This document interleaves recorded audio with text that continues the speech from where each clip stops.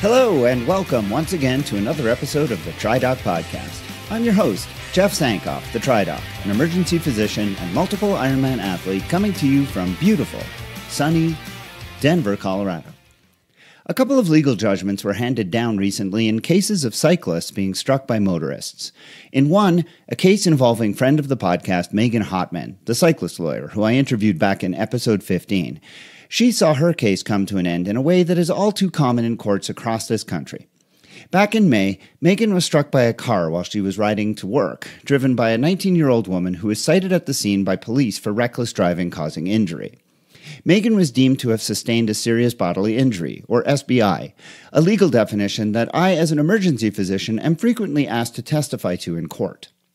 I should say at this point, in every single case that I have ever been asked to testify to SBI, I have never been cross examined, and the SBI has always been accepted by the defense because juries accept the professional opinions of physicians in this matter. But in Megan's case, the district attorney decided against proceeding with prosecution under Colorado's new vulnerable road user law that for the first time imposes harsh penalties on drivers who cause injury to cyclists through reckless driving. So instead of losing her license and potentially facing other penalties, the driver in this case walked away with the all too common slap on the wrist that is de rigueur in Colorado when cyclists end up on the wrong end of a collision with a car. That 19 year old is driving today, and one can only hope that the incident has chastened her because certainly the legal proceedings wouldn't have. The DA in the case stated that they felt that it would have been too difficult to get the case to stick because of issues with the SBI declaration. A declaration that, I say again, I have never once been questioned on in court in my entire career. In another case, on the other side of the world, in a court in Australia, a 22 year old woman was sentenced to three years of community service and a $2,000 fine for killing pro cyclist Jason Lowndes when he was out for a training ride back in 2017. Now, I find the outcomes in both of these cases to be appalling and completely unacceptable. In Megan's case, it demonstrates the continued apathy of the legal system when it comes to prosecuting motorists who injure cyclists on Colorado roads. It often seems to me as though the legal system is designed to protect motorists, no matter the costs to pedestrians or cyclists in terms of lives lost. The prevailing feeling continues to be that the roads are for cars, and if you get injured or killed while you are doing something else out there, then it clearly must be your fault. With respect to the case in Australia, I have no doubt that the driver in that case is going to live with guilt and the trauma of what she did for the rest of her life, and that no matter what penalty she was faced with, her life is forever changed and not for the better. Still, the message that this light of a sentence sends is that you can take a life and fear almost no legal recourse. If you committed manslaughter with a firearm or a knife, you would certainly face jail time. Why is it that when you do so with a car, it should be any different? Now, I would not wish for this young woman to have faced a lengthy jail sentence that would simply have resulted in two lives being destroyed instead of just one. But to have the sentence that she got really boils my blood because it could be easily be interpreted as a license to kill with impunity by other more malicious drivers who need not fear for any serious consequences for their actions. Until our legal system accepts its responsibility to represent all of us who are at risk, then none of us can feel particularly safe. On the show today, an increasingly common but still fairly unusual medical diagnosis has made some news in the world of cycling this year. Several high profile professional cyclists have either had treatment for or had to retire because they were afflicted by iliac artery endofibrosis. To help us understand what this entity is and how it can be managed, I'm joined by my friend and vascular surgeon, Dr. Kent MacKenzie from McGill University Health Center in Montreal. Dr. MacKenzie is an avid cyclist himself and is going to join me to talk about this medical problem. Reels for Wheels is back with another segment of Keanu Reeves films. For this episode, Janetta Iwaniki will join me to discuss the Matrix trilogy and how it can make your trainer rides that much more enjoyable. First, though, I have a medical question to consider. Neil wrote to me because he is considering including branched chain amino acids as a tool to help enhance his recovery during training, and he wanted some advice as to whether or not this was a sound strategy. As always, I will dig into the science to try and get to the truth of the matter, and that's coming up right now.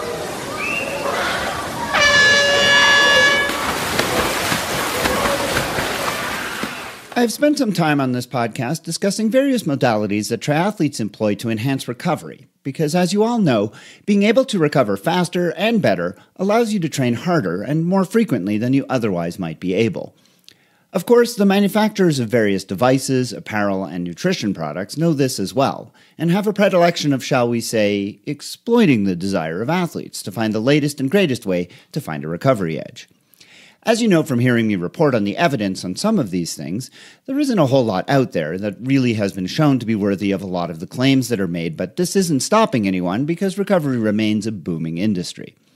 Well, for today's medical question, I have another recovery enhancement to consider, and it comes care of Neil, who wrote to ask about whether or not he should consider including branched chain amino acids into his nutrition after workouts. Within the cells of our working muscles are large stores of protein. These proteins get broken down to a certain extent, depending on how hard and for how long we work out. That breakdown is what leads to muscle soreness and swelling, and if prolonged, can result in inflammation and the influx of inflammatory cells and chemicals that result in DOMS, or delayed onset muscle soreness. Exercise induced muscle damage like this has negative effects in that it can reduce range of motion, in other words, cause stiffness, in the affected area, and cause the muscle to have reduced efficiency and a reduction in its ability to create force.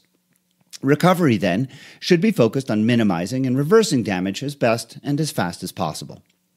The way in which our body naturally recovers from this kind of self inflicted injury is to simply clear out the detritus from the broken down protein and to synthesize new protein in its place.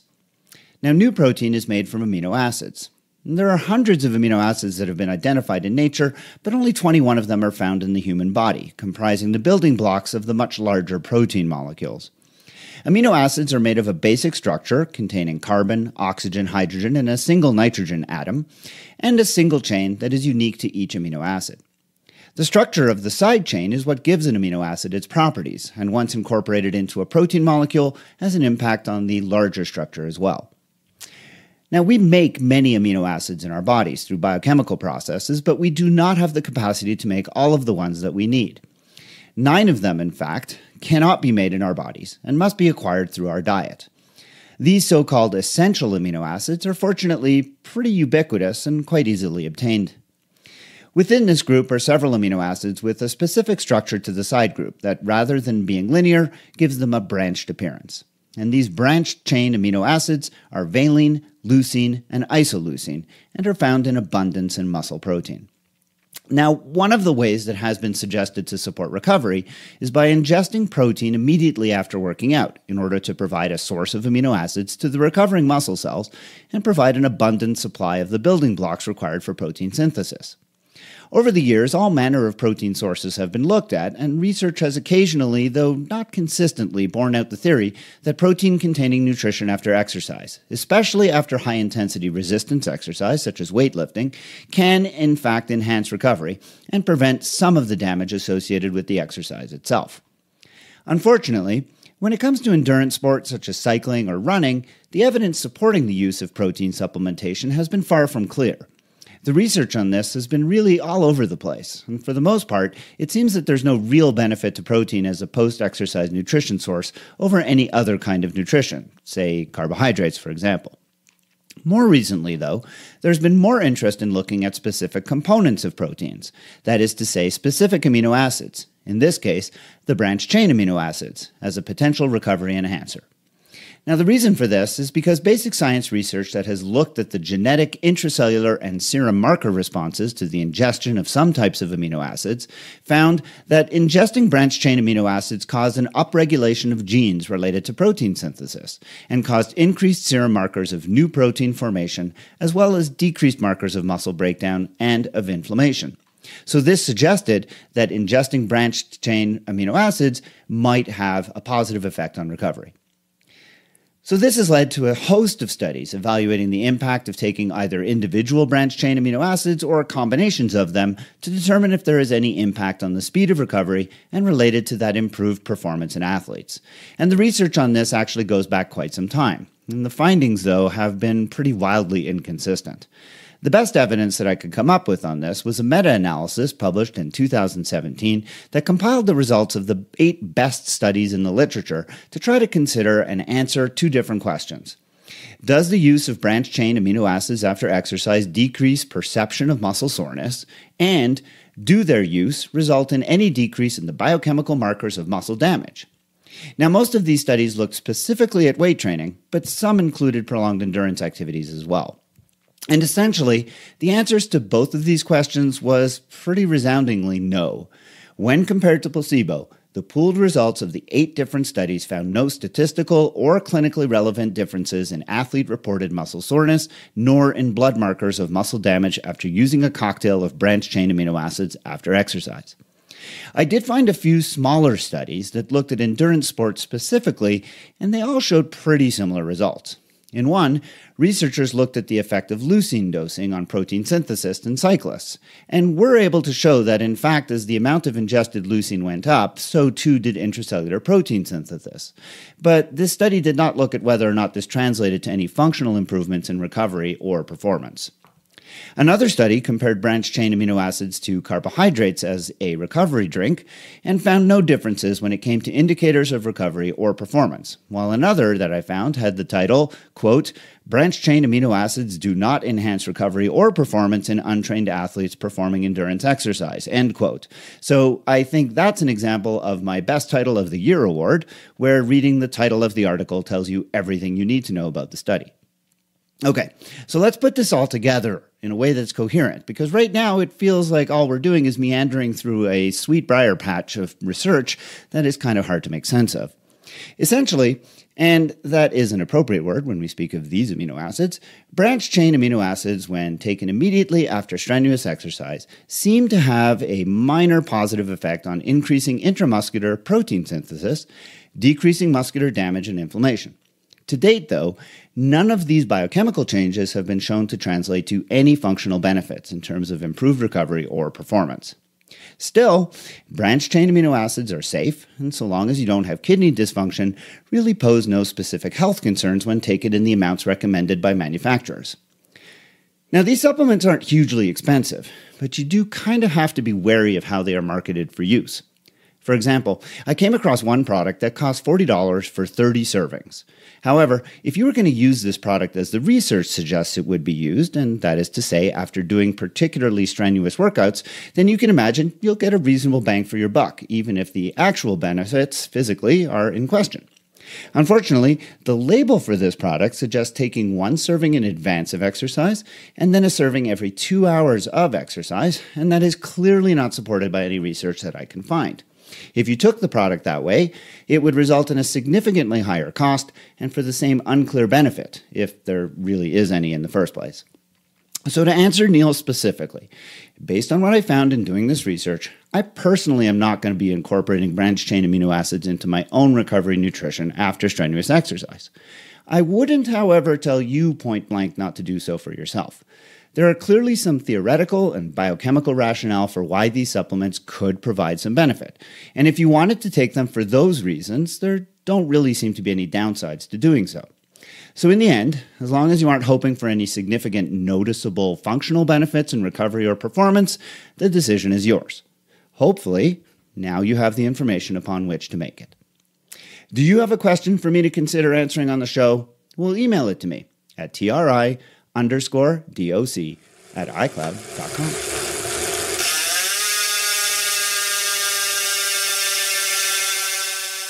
Iliac artery endofibrosis is a potentially debilitating and career ending ailment that affects an unknown number of cyclists and triathletes to varying degrees. When the iliac artery, that is the large branch off of the aorta to the leg, fibroses, the internal caliber of the artery narrows, and this restricts blood flow to the affected leg. At its worst, blood flow can be so impaired that muscles can actually suffocate and exercise becomes impossible. Recently, two professional cyclists on the world tour indicated that they were afflicted by this problem and have had to retire from the sport as a consequence, joining a host of others who preceded them. To get a better understanding of this medical problem and to be able to discuss the scope of the issue, as well as what possible therapies there are for it, I've invited Dr. Kent MacKenzie to join me for a discussion. Kent graduated from medical school and did his general surgery residency at McGill University in Montreal, Quebec. He completed a fellowship in vascular surgery and further training in interventional radiology at the University of Chicago before re- returning on staff at the McGill University Health Center in 2001, where to this day he is currently associate professor and chief of the Division of Vascular Surgery. Kent is also an avid cyclist, though despite his background as a high level competitive swimmer, he no longer participates in triathlon and for some reason does not see why this is of grave concern to me. For today, though, we'll forgive him for this error in judgment and welcome to the TriDoc podcast to talk about iliac artery endofibrosis. Welcome, Kent. Hey, Jeff, how's it going? It's going great. So, um, this is uh, obviously a medical issue that has garnered um, fair amount of attention in the press recently. I sent you an article that uh, I had seen about the two uh, bicycle pros that had to retire because of this. Fabio Aru has also been affected by it, uh, as have some other high level, high profile cyclists. Is there any research or population study that gives a sense of the scope of this problem and who is most likely to be affected by it?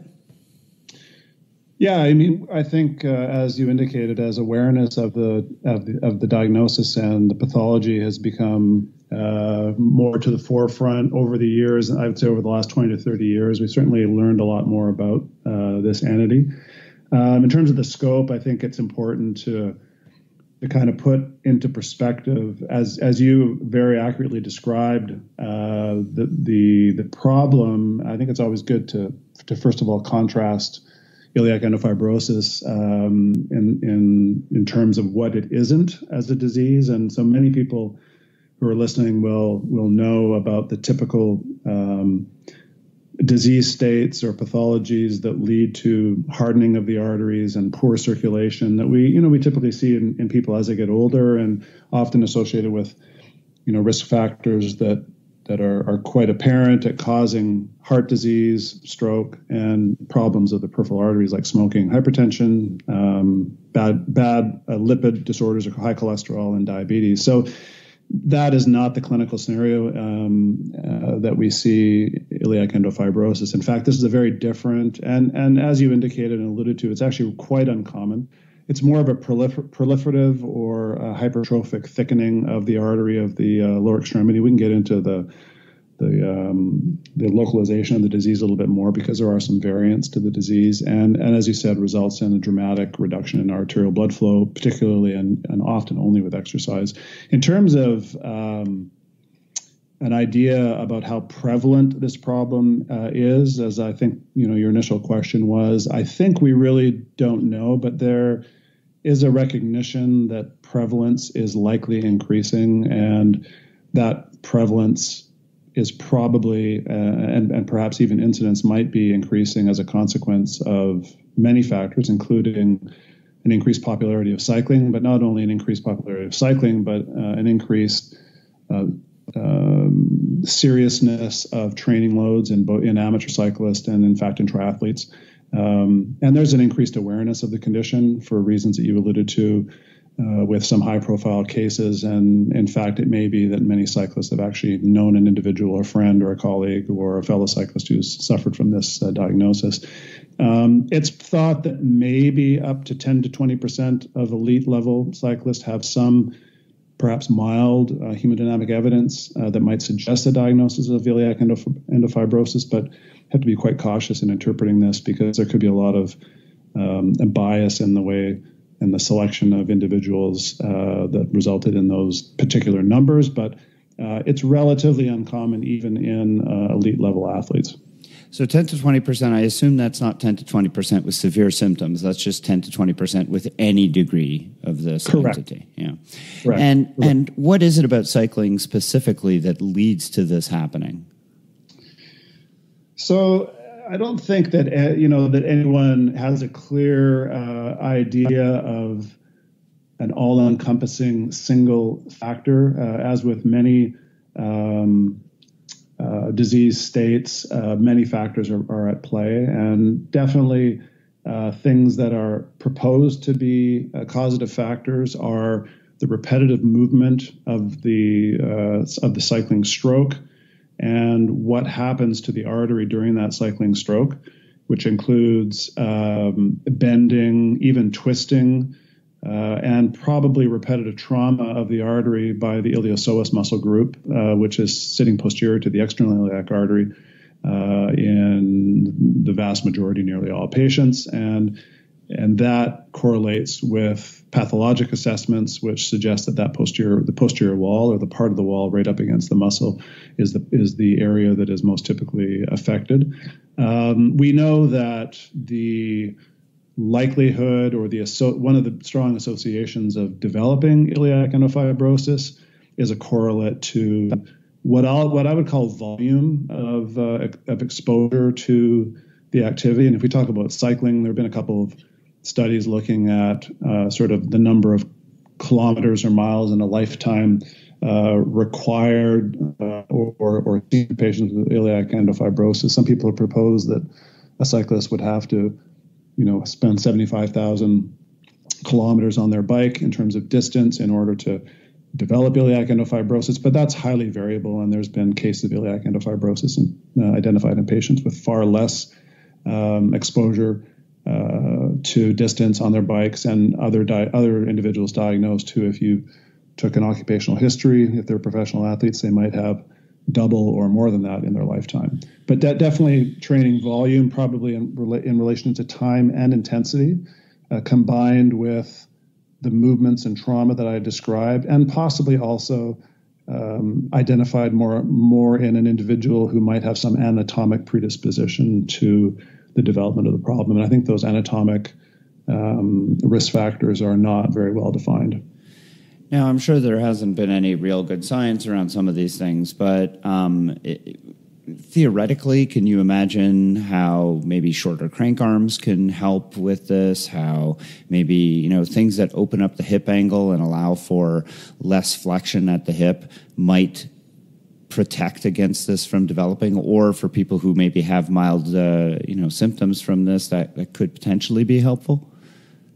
So I think people have proposed or have, or have, have um, postulated that uh, the positioning on a bike um, or perhaps poor positioning on a bike in terms of bike fit uh, might be an exacerbating factor. So that if someone is not as you is not fitted in a way as you as you just described, particularly as it relates to the hip angle, that that could exacerbate the uh, excessive force on the artery. Although there's very little data that actually looks at that specifically. Um, and in, in fact, and you can correct me, you being you being a, a, triathlete and actually not a cyclist, you could correct me if I'm wrong here. But, uh, but um, I think that the the triathlon the the time trial or triathlon position uh, probably does open up that hip angle more than a typical um, traditional cycling uh, position and fit. But as you know, iliac endofibrosis is seen uh, quite commonly in triathletes as well. So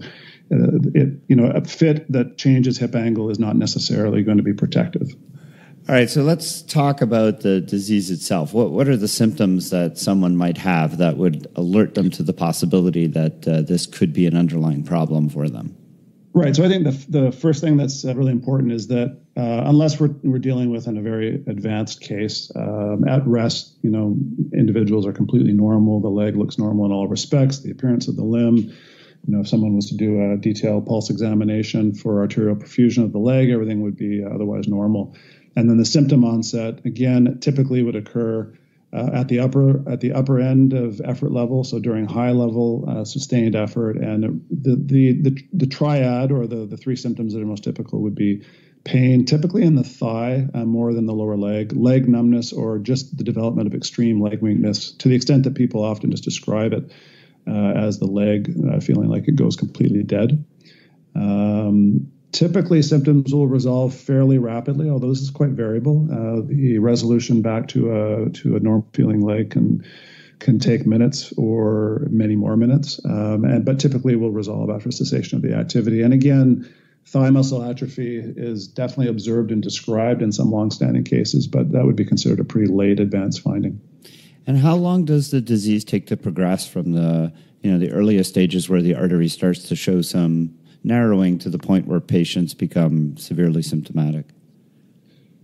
It's a good question. I'm not, not sure that that's entirely defined. And in fact, if you look at uh, angiographic imaging of people with iliac endofibrosis, you know, as vascular surgeons, we're used to seeing dramatic, um, highly uh, evident narrowing in arteries uh, due to other disease processes. And in fact, the, the radiologic images of patients with uh, iliac endofibrosis are not typically that dramatic. The, the findings of the narrowing in most cases look um, quite minimal. Um, the distinction comes uh, in regards to the length of these narrowings throughout the entire length of the iliac artery, and reductions in flow at high effort relates to both the degree to which the artery is narrowed, but also the length over which the artery is narrowed. Um, and i it's uh, we think about the hemodynamics of arterial stenoses or, or blockages becoming uh, significant and resulting in reduced blood flow uh, in the in the muscles beyond the artery when a narrowing gets to 50% or greater, but certainly people with iliac endofibrosis can develop symptoms with lesser degrees of, of narrowing and stenosis of the arteries. And that's probably related, as I indicated, to the combination of the the the narrowing, the degree of narrowing, and the length of the lesion. And again, I think it also would depend a little bit on the the level at which the athlete is exerting themselves and the duration of time uh, at these high high efforts. So much more highly functioning. Uh, or high uh, athletes with a higher uh, potential for effort are going to develop symptoms sooner because they're muscles are demanding higher oxygen delivery through their blood, which then they're not getting at those high efforts. So it's variable. I guess and, how I would answer that. And does the size of the individual matter as well? Because would a, a larger, let's say, taller man have a larger caliber artery in a normal state than, uh, say, a shorter woman? They would. We, you know, if, if we examine, you know, normal diameters of arteries, uh, comparing men in terms of their height and comparing men to women and women in terms of their height, for sure there's a correlation in uh, uh, between sexes and uh, in regards to height. But in fact, this uh, entity is seen more commonly in men than it is in women. Oh, interesting. Prob- probably about 70 to 80 percent of cases that have been described, at least, have been described in men. Whether that represents the, the true nature of the d- disease distribution uh, could be argued, but you know, in terms of the reported cases in the literature, certainly it's it's felt to be seen uh, more commonly in men. It, but it's definitely identified in women. And could could the development in women be related to uh, their the small nature of their vessel? That's possible. Um, but as you know, if you look at the the uh, high level of um, elite or professional athletes uh, whose diagnosis is in the public domain, uh, we clearly see it's been described in, in men and women, and we see it's been described in large men, small men, large women, small small women. So right. it's not it's not not going to be protective necessarily. Yeah. And, and how is it diagnosed? Is it radiographic diagnoses or is it really a clinical diagnosis? what one of the themes that comes out commonly in reported series of uh, iliac endofibrosis is the diagnosis is typically made late. So athletes are often suffering from symptoms for a long period of time uh, and have been evaluated by a whole slew of uh, medical professionals, whether it be orthopedics, uh, sports therapists uh, can run down the list, and uh, it's only in, un, until someone who's seen the problem before uh, identifies a need to to see a vascular specialist. It could be a vascular surgeon, but it could also be someone who's able to, you know, take the appropriate history and then and, and do the appropriate initially non-invasive testing. So certainly the history is important. You have the patient who has the risk factors. So you're talking about a high-level athlete who's a cyclist or a runner or a cross-country skier, triathlete, um, and uh, describes the symptoms that we talked about before. And really, the diagnosis then uh, is not initially made with any sort of direct imaging of the artery, but non-invasive testing uh, in in a vascular laboratory uh, where we would do ankle ankle brachial pressure indices and look at those numbers uh, before and uh, after exercise. And uh, what what that test does is measuring the blood pressure in the arm uh, and at the level of the ankle. And generally, those should be about the same number um, uh, prior to exercise and post exercise. In normal individuals, the numbers would be unchanged. But in people with iliac endofibrosis, the blood pressure at the ankle, which is um, is signifying the blood pressure in the leg will drop dramatically with onset of symptoms. And that's pretty pathognomonic of the diagnosis of iliac endofibrosis.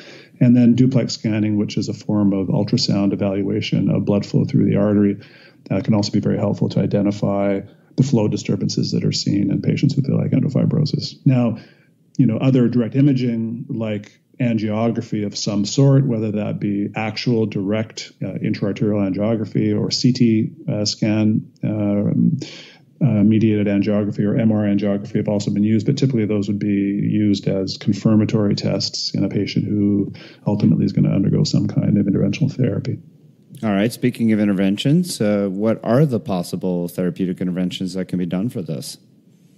Yeah, so I think the key is that uh, there really is no medical therapy available for this problem, um, and that uh, with without uh, without intervention, meaning that in an individual who is confirmed to have the diagnosis, uh, uh, stopping it's believed that stopping the activity that has brought on the diagnosis, so for example, stopping cycling when the diagnosis is made is more than likely and probably um, going to result in a complete uh, halting of the progression of the disease. That's I think that's a fair assessment of what's been observed. Does it and, does it result in reversal or does it right. just stop progression?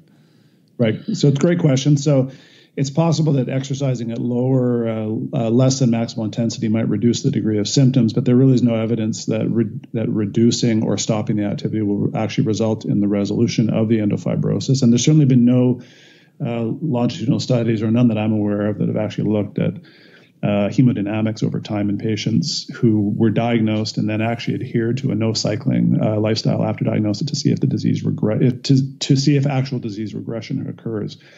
Um, this sort of underlines the the future issue and the potential benefit of case registry data to track the outcomes of patients that not only have been treated with surgery but have been treated conservatively without intervention, uh, of, of, which the majority of patients are, are, not intervened on surgically. But if we think about other examples of non uh, atherosclerotic or non uh, or other similar arterial pathologies, that occur from a compressive or traumatic, repetitive traumatic um, injury, uh, when you relieve that um, stimulus, uh, resolution of the arterial re- lesion has been observed. So there is some potential that it could resolve, but there's there's nothing in the in the literature that indicates that. So I think the key again is that in a patient with iliac endofibrosis, uh, not operating on the, on the individual who actually ceases the activity is not a dangerous approach. It's a safe approach, and the likelihood of that individual going on to develop some kind of complication that puts their their limb at risk or certainly their life at risk is is extremely low. Um, and you've for, mentioned surgery, so I'm assuming that that involves stenting. So yeah, I, I, read that article that you sent to me today, and I, I, I think there's a glaring um, misrepresentation in that article in that uh, they they alluded to or implied that the treatment of iliac endofibrosis was to uh, treat that treat patients with stenting, and I, I, I strongly disagree with that statement.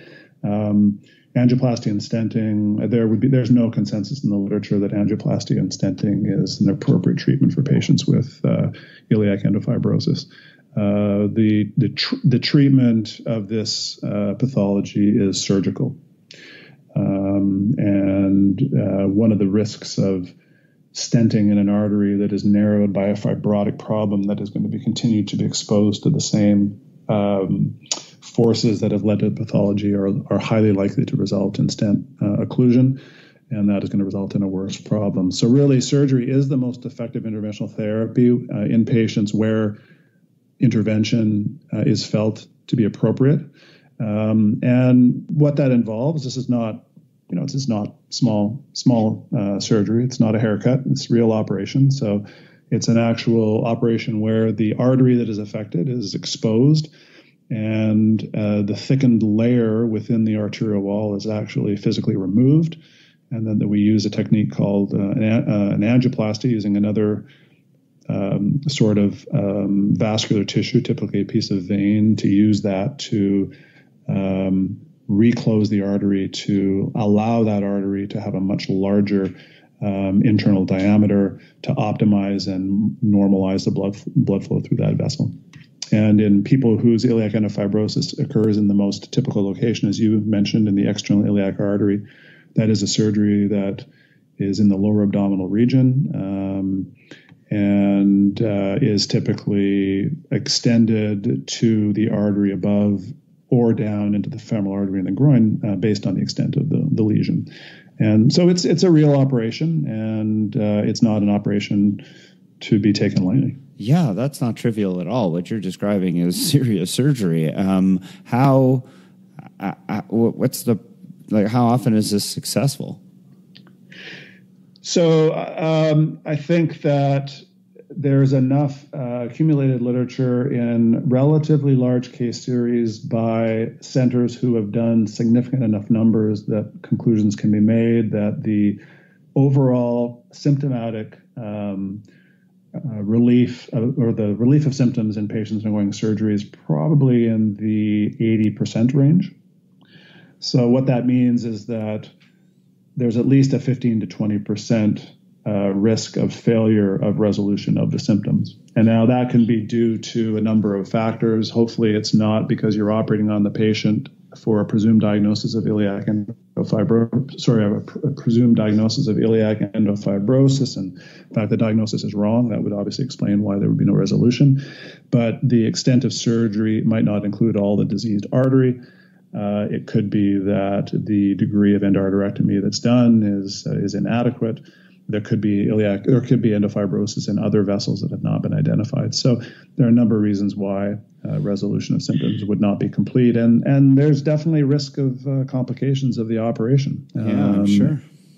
So the, there are some nerve complications that can occur. There are nerves in the area that can be injured, and all this sort of standard slew of surgical complications as it relates to vascular surgery and operating on arteries uh, can exist as well. Yeah. And I'm guessing that, you know, when we talk about the 80% who have successful resolution, we're not necessarily talking about return to cycling.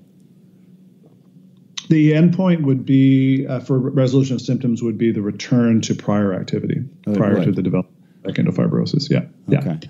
And then is the surgery considered curative or will there be recurrence uh, in some of these people? Um, most surgical uh, series looking at uh, um, operations for iliac endofibrosis will usually include uh, in the range of about 10 to 15 percent of their patients are patients who have been operated on in the past, and there have definitely been reports uh, of of athletes, and in fact, I'm aware of a few who have undergone multiple operations. And the expectation would be if you're being reoperated on uh, a second time or or third time for recurrent iliac endofibrosis, the the success rates of the subsequent operations are not going to be as high as the initial index operation would be. Well, that's really sobering. Uh, this is obviously a devastating diagnosis, as we've seen uh, in the cycling world. And as you mentioned, not terribly common, much more common in people who are doing large volumes of cycling at high effort. And that is not the general uh, you know, that's not the age grouper uh, in triathlon. So fortunately, this is not going to affect a lot of people in the age group ranks, but I know at least myself personally a couple of people who have been affected by it, and it can be quite. Uh, quite a blow to uh, one of them had to just get out of triathlon altogether. The other one is just dealing with an early diagnosis now. So yeah, uh, clearly, think, yeah, and I think the challenge in, in the, from in the surgical domain is is uh, more pronounced in the non-professional athlete because um, you know a professional athlete developing iliac endofibrosis who has a surgical option in front of them that will allow them to continue their career, continue to make a living at what they do, uh, is going to have a different perspective on uh, risk assessment for treatment than a non-professional but highly functioning, you know, sort of elite level or age group uh, athlete. Um, but the, the so the discussions can actually be much more difficult with the non-professional athlete because, uh, as you're aware, uh, all of us love doing what we're doing. We love being on the bike or we love running. We love doing the activity because of the, the things that it does for our overall well being. And we want to keep doing that. And if you're told that uh, you have to stop doing the activity. Many people will say, "Well, I want an operation," but you know, we're not. We're, we're taking amateur athletes and exposing them to the risk of, uh, of, of surgery, and so those decisions have to cannot be taken lightly, and, and really have to be approached with uh, a lot of introspection. Yeah, well, Kent MacKenzie is the uh, chief of the Division of Vascular Surgery at the McGill University McGill University Health Center, and if I'm understanding what he's telling us, he's saying that as cyclists, you should all incorporate more swimming and running to avoid this terrible uh, problem of. Uh, uh, iliac artery endofibrosis. Uh, seriously, though, uh, that was a really fascinating conversation, and uh, thank you so much for being here today, Kent. Pleasure, pleasure to be here, Jeff. And now it's time once again for Reels for Wheels, that part of the show, and I am joined by multiple Ironman finisher and film buff Janetta Iwaniki to give you our picks for movies that you might want to watch while putting time in on the trainer. Some people Zwift, others like to Sufferfest, but Janetta and I have a fondness for movies to make those rides more bearable. Welcome, Janetta.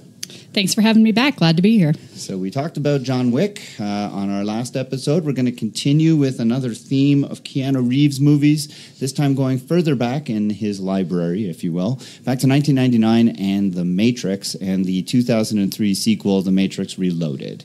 Uh, these two movies, especially The Matrix, really, I think we'll, we'll begin with a discussion of that movie, really redefined uh, the sci fi genre at the time. Yeah, and I think um, you know that's absolutely true. I think back to when I first saw the film back in uh, 1999 when it came out. I was in college at the time, and uh, I went to a small liberal arts school where people came from all sorts of different backgrounds, and I knew way more people who wrote their theses about that movie than just about anything else. Whether it was um, people who were majoring in film studies or philosophy or religion. Um, and I think, quite honestly, that was sort of the lens I'd seen this film through originally was sort of that uh, layer of film analysis. Um, but uh, you know, going back and watching it again not too long ago while writing the trainer, I was reminded that it's just a really damn good action movie too. Yeah, there's so many levels, right? I mean, uh, the technical aspects with uh, the special effects, uh, bullet time. Uh, the uh, filmmaking aspects with you know just the subtle things that the directors did to uh, visually let you know where you were in the movie. Uh, use of a green filter whenever you're in the Matrix. Use of a blue filter whenever you're um, in the real world to give you that harsh cold light, and then uh, yellow filter for the training zone, sort of in between. Those kinds of things were not the the kinds of things that you traditionally associated with sci-fi movies, which tended to rely much more more on you know, high tech, maybe special effects at the time, but certainly were much more straightforward in their storytelling. And this one was so much more of a uh, really deeply woven, uh, very intellectual story uh, for a sci fi movie, especially. That was not the standard.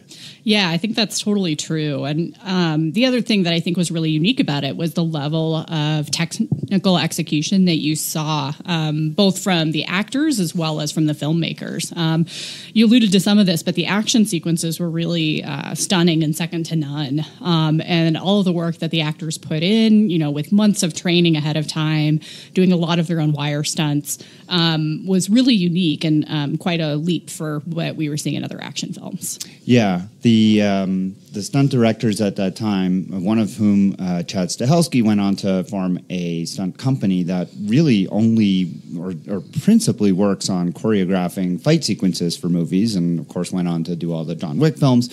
Uh, they got their start in the Matrix, and you can see the origins of some of the work that they do in all of those really intricate, uh, very detailed fight sequences that go on in this movie. And uh, yeah, all of the actors worked for months in advance to to learn some of the basic kung fu and basic. Uh, um, martial arts that they needed. Uh, I know that Carrie-Anne Moss, Laurence Fishburne, and of course, Keanu Reeves spent months in advance training and mm-hmm. learning how to do that, which was very unusual, especially when you consider that uh, the you know the writers and directors, the uh, Wachowski brothers, now sisters, um, you know, were really relatively unknown. I mean, this was mm-hmm. kind of a big deal for big name stars to put their you know time and energy and and and lend their star power to two people who really were breaking into the business in such a big way. Yeah, and I think too, you know, you look at what a difficult time the Wachowskis had in selling the film to studios. Um, a lot of studios didn't really see that this was going to take off, um, and, which, to be honest, was pretty short sighted. But um, they thought it was too cerebral, you know, too esoteric, um, and what really I think made it work in the end was that it was something that made people's brains think and also had stunning action to entertain you in the meantime. Yeah, and think about how um, you know in the past up to that point, the really successful sci-fi movies of the '70s and '80s, you know, Star Wars, Star Trek. Um, you know, I mean, those genre movies were really uh, based or driven on story and driven on light character development, whereas these Mm-hmm. movies had really much more deeper characters uh, and actors that just did such a great job. I mean, Hugo Weaving as the Agent Smith. I mean, it's pretty hard to imagine anybody else in that role doing such a good job. Yeah, he's still one of the best movie villains of all time in my books, uh, without question. As you can see, we've had our eye on you for some time now, Mr. Anderson. It seems that you've been living two lives. In one life, you're Thomas A. Anderson, program writer for a respectable software company. You have a social security number, you pay your taxes, and you help your landlady carry out her garbage. The other life is lived in computers, where you go by the hacker alias Neo and are guilty of virtually every computer crime we have a law for. One of these lives has a future, and one of them does not. I'm going to be as forthcoming as I can be, Mr. Anderson. You're here because we need your help. We know that you've been contacted by a certain individual, a man who calls himself Morpheus. Whatever you think you know about this man is irrelevant. He is considered by many authorities to be the most dangerous man alive. My colleagues believe that I'm wasting my time with you, but I believe you wish to do the right thing. We're willing to wipe the slate clean, give you a fresh start. All that we're asking in return is your cooperation in bringing a known terrorist to justice. Yeah. Wow, that sounds like a really good deal. But I think I got a better one. How about I give you the finger, and you give me my phone call? Hmm, oh, Mr. Anderson.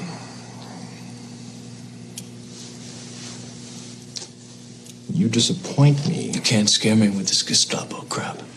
I know my rights. I want my phone call. Tell me, Mr. Anderson, what good is a phone call if you're unable to speak? But I think, um, you know, you're hitting on some of the things that make this a really great trainer film. Um, I think the fact that this movie has such fantastic kinetic action, it's got great music that moves the action along, um, really, you know, impressive filmmaking that pulls you into the world. And yet, while it's intellectual, it doesn't necessarily take all of your attention, um, is really, for me, what still makes it work as a trainer film 20 years later. Yeah, I agree. You can watch it over and over again, and but because of those layers of you know intellectual aspects, you can find things all the time. Like Yeah. it's got all kinds of literature and religious references woven into it. Uh, you know, Follow the White Rabbit, um, the book that he opens to find Simulacra and Simulation. Right. Uh, one of the uh, postmodern classics from the 1980s that apparently I think all of the cast had to read to try to wrap their brains around what was happening in this world, the idea of, you know, a simulated world and what that meant. Yeah, and I think they, they, they struck the right balance of that in the first movie. Um, we'll talk a little bit more about the, the second and third movies in a second, but uh, you know they kind of went down a little bit, maybe off the path on the ra- or maybe off the rails, if you will, on the second and third movies. But the first movie, it, it definitely was a mind bender till you sorted out what was going on, and uh, but you were able to figure it out and you were able to stick with it. Um, I thought that uh, great turns by people like Gloria Foster as the Oracle, uh, and uh, the story just kept you riveted right till the end. Well, and I think that one thing they did really well in the first film, and we can talk about whether or how well it was not done in the other films, is they really kept the story focused on a small group of people that you got to know well and were really invested in. Even the, you know, even the small side characters, um, you really felt like there was a depth to them um, and an integrity to them that I think really made you invested in that world. And yeah. I would argue that that's actually some of where they lost a lot of their um, power in the later films was that they tried to go too big too quickly. You zoomed way out, and all of a sudden you have you know hundreds of people you're supposed to care about, which yeah. is hard to do. Yeah, yeah, you're right. Um, you know, thinking again about some of the things that really work in this film, and thinking, you know, here we are some 20 years later, and uh, many lines from the movie, many references from the movie still, you know, permeate and percolate into our culture today. You know, take the red pill. Uh, I know kung fu. still some, one of my favorites. yeah, some classic lines. Uh, I think you mentioned uh, to me uh, about uh, something that you use as a mantra. Oh yeah, stop trying to hit me and hit me. That's my favorite. Right, and and I I referenced the line from uh, the training sequence, the kung fu training sequence, which is "Don't think you can, know you can." Mm-hmm paraphrasing a little bit, but something that I use and repeat to myself often at the in the later stages of a race when I'm struggling. Uh, so yeah, a, a, great movie and one that uh, has held up exceptionally well uh, despite its age. The special effects look just as good today as they did 20 years ago. Um, which brings us to the second film, um, The Matrix Reloaded, which came out four years later. Uh, had pretty much the same cast with a few additions. Uh, I think it there was no way it was going to hold up. It could right. never have the same originality. Yeah. And so I think they tried to get around that by investing a little bit more in the mind bendingness of the story. Mm-hmm. And in mm-hmm. doing so, I think they go off the rails a little bit. I don't know what your thoughts are. Yeah, I think they. Um to some extent, I think they were trying almost trying too hard, is how it felt to me. Um, they were trying to recreate some of that magic while still trying to make everything bigger and better and badder than it was the first time around. And I would argue there are some cases where that works. So um, when you see, uh, I think what the filmmakers reter- referred to as the Burly Brawl, where it's uh, Neo fighting um, all of the Agent Smiths. Yeah. Um, that's pretty impressive. And that action sequence is pretty spectacular. Yeah. But then there are some other things where you're like, ah, you know, why are we trying to make this so much more complicated than perhaps it needs to be? When you've got not just the Oracle now, but you've got the Oracle and the Keymaker and the Merovingian, Merovingian yeah. and Persephone. Yeah.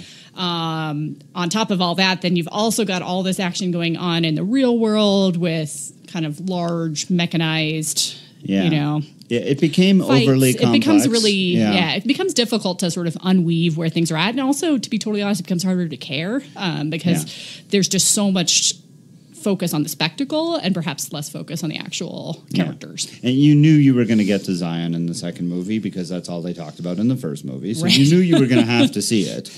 Uh, the the thing that I kept sort of like tripping over, and they kind of gave us this soliloquy at some point where one of the elders of Zion is explaining how well we rely on machines even while we fight them. And I'm like, wow, they're really pretty advanced down there in Zion with their computers right. and their holographs and everything else. I'm like, uh, how did they get this all going exactly? So you know, I mean, it was it was pretty you know I thought silly, but again, reaching on a lot of the obscure, you know, literary references, Merovingian, referring to mm-hmm. a Frankish destiny back in the 1500s. Uh, although I will say the whole scene with Persephone, I mean, Monica Bellucci. Uh, oh, she's fantastic. Yeah, she's terrific. If you want the keymaker, follow me.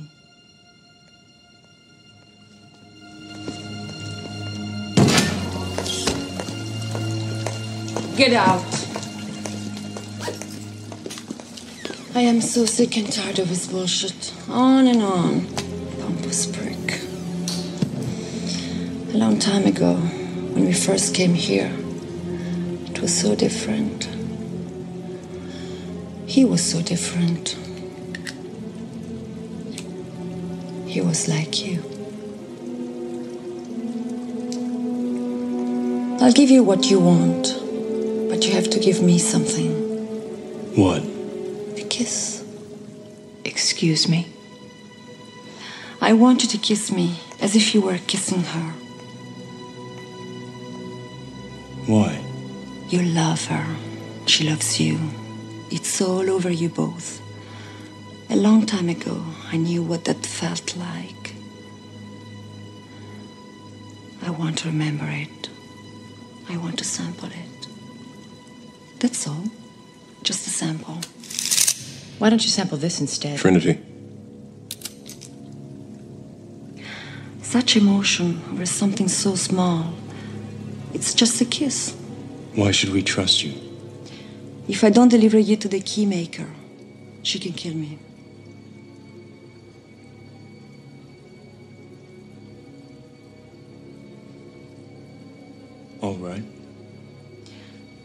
You have to make me believe I am her. All right.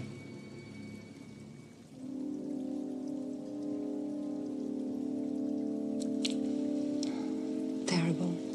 Forget it. Wait.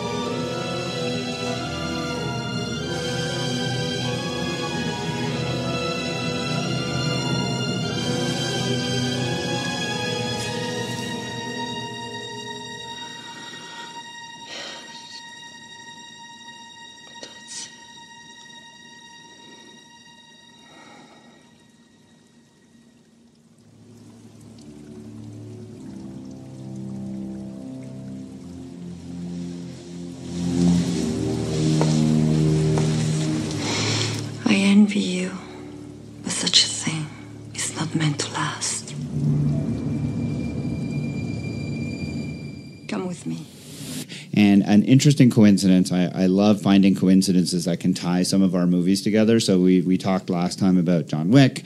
Uh, the actor who plays the doctor in John Wick and in the third chapter is Randall Duk Kim. And Randall Duk Kim plays the keymaker in Matrix Reloaded. So does, yeah. uh, there's a nice uh, tie-in for those movies. Um, but as an action film, to drive a trainer ride, The Matrix Reloaded does hold up because there are some frenetic action sequences. You mentioned the fight uh, with all of the agents.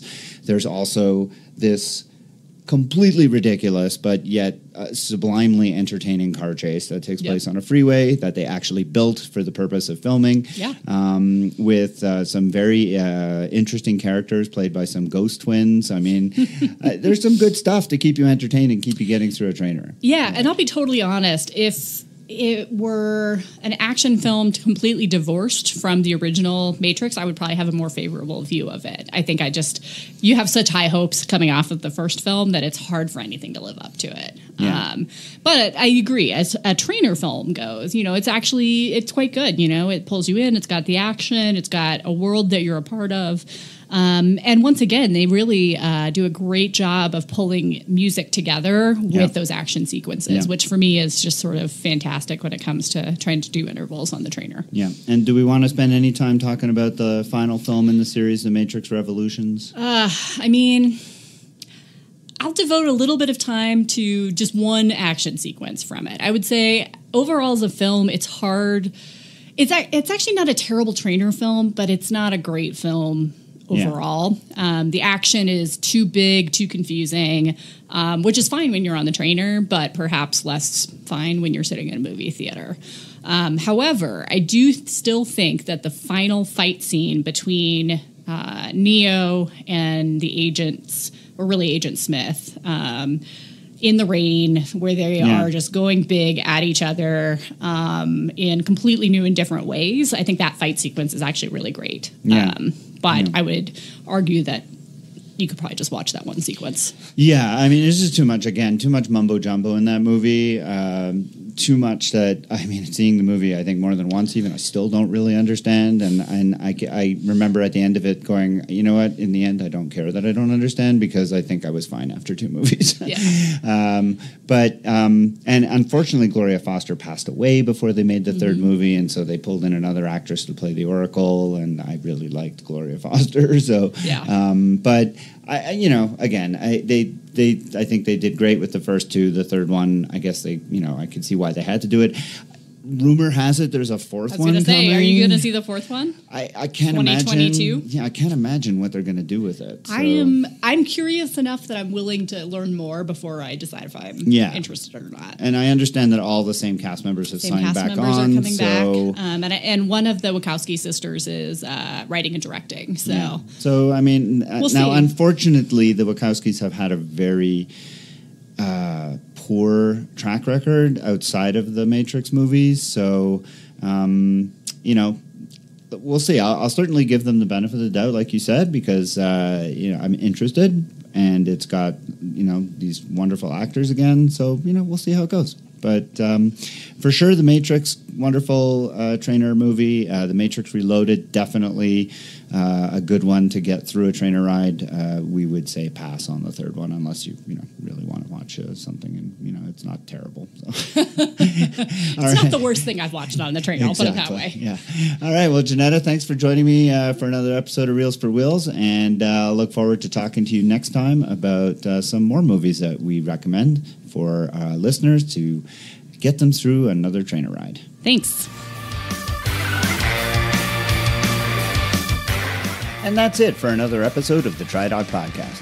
I hope that you enjoyed listening to it as much as I enjoyed bringing it to you.